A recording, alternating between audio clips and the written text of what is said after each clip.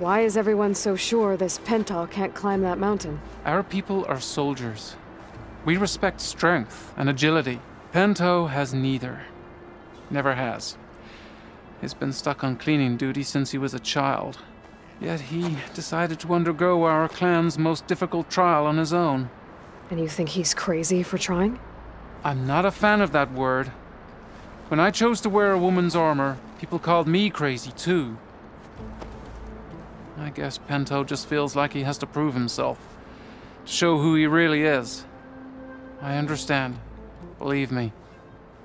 But that climb is hard enough, even without a storm.